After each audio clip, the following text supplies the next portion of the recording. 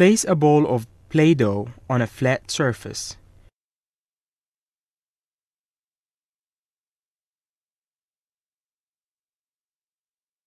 Create a concavity in the Play-Doh to accommodate the final impression.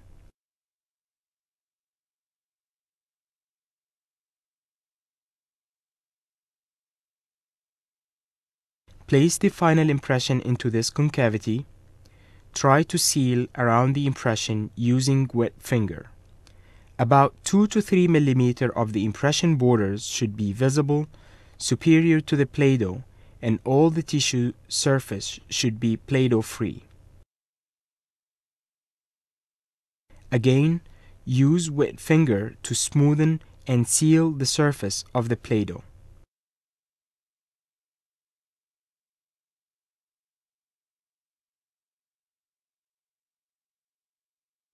Wrap a strip of boxing wax around the Play-Doh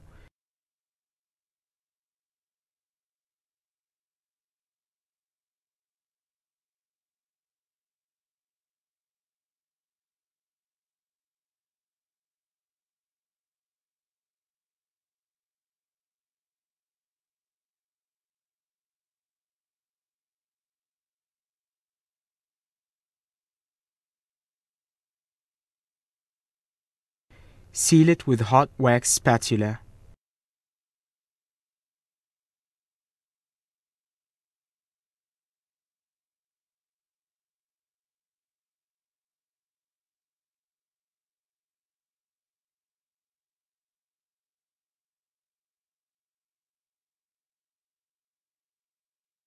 The advantages of using this technique are its speed and ease of use.